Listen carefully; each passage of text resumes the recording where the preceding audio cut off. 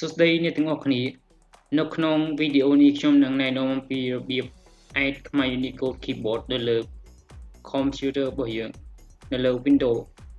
10យើងបានដឹងដូចហៅថាភាសាខ្មែរគឺជាភាសាគោលសម្រាប់ប្រទេសកម្ពុជារបស់យើងនៅក្នុងការសរសេរអត្ថបទប៉ុន្តែម៉ាស៊ីនជាធម្មតានៅពេលដែលគេ set up ថ្មីមកគឺវាមានតែភាសាអង់គ្លេស ចឹងវាតម្រូវឲ្យយើង install ឬក៏ add ភាសាខ្មែរនឹងដោយខ្លួនឯងតែអ្វីដែលជាពិសេសនោះគឺនៅលើ Windows 10វាមាន package ដូចជាស្រេចយើងគ្រាន់តែ add package នឹងឬក៏យើង enable package ហ្នឹងទៅយើងអាចប្រើភាសាខ្មែរដោយងាយស្រួលដោយតម្រូវឲ្យយើងប្រើ កម្មវិធីជំនួយឬមួយក៏ third party application ដើម្បីដំណើរការខ្មែរ Unicode keyboard នោះទេអញ្ចឹងដើម្បីកុំឲ្យខាតពេលយូរសូមមើលការធ្វើការតាមដានវីដេអូរបស់ខ្ញុំដើម្បី add ខ្មែរ Unicode keyboard អញ្ចឹងយើងទៅចូលមក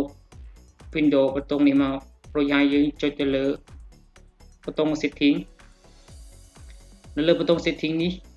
ជានឹងឃើញមាន បតុងមួយទៀតគឺ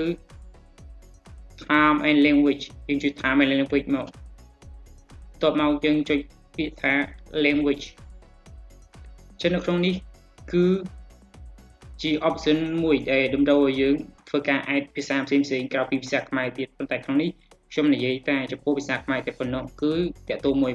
ជាមួយនឹង prefer language គឺថាភាសាផ្សេងផ្សេងយើងចង់ add ចឹងគោលបំណងរបស់យើងគឺយើងចង់ add ភាសាខ្មែរយើងចុចពាក្យថា add a language ចឹងដើម្បីជាការងាយស្រួលយើងអាចវេ keyword k a m e r ចឹងគឺយើង select យកភាសាខ្មែរតមកជាភាសាចុចពាក្យថា next វានឹងសុយ package ហើយយើងគ្រាន់តែចុចយកពាក្យថា install package យើងមិនចាំបាច់ select your set my window display language ទេ នៅក្នុងនេះយើងគ្រាន់តែ tick យកប៊ូតុងទី1មកបែរថាវានឹងមាន option ខ្មែរ Unicode keyboard ដែលយើងប្រើប្រាស់ហើយបើសិនជាយើង tick យកប៊ូតុងទី2ទៀតមានន័យថាយើងចង់កំណត់ភាសាខ្មែរនឹងទៅជាភាសាគោលរបស់ PC របស់យើងមកថាយើងវានឹងបកអឺបកប្រែទំអក្សរទម្រង់ផ្សេងផ្សេងនឹងជាភាសាខ្មែរទាំងអស់ហាក់ដូចជាយើងកំណត់ PC របស់យើងប្រើប្រាស់ភាសាខ្មែរជាគោលអញ្ចឹងអញ្ចឹងខ្ញុំ tick តែលើទេនេះអញ្ចឹងវាចេញមកហើយអញ្ចឹងវាកំពុងតែ pending វានឹង install package នៅក្នុងនេះគឺយើងបានដឹងហើយថានៅក្នុង keyboard ខ្មែរយើងគឺយើងមាន2យើងជិះលើ option នេះមកយើងមាន2ខ្ញុំនឹងនិយាយគឺនេះមាន keyboard គឺយើងមាន keyboard មួយឈ្មោះថាខ្មែរអញ្ចឹងនៅក្នុង keyboard មួយឈ្មោះថាខ្មែរនេះយើងអាចសរសេរអក្សរខ្មែរបានក៏ប៉ុន្តែយើងបូកជើងអត់បានទេឧទាហរណ៍យើងចង់សរសេរពាក្យថាខ្មែរអញ្ចឹងយើងសរសេរអក្សរខបូកជើងមក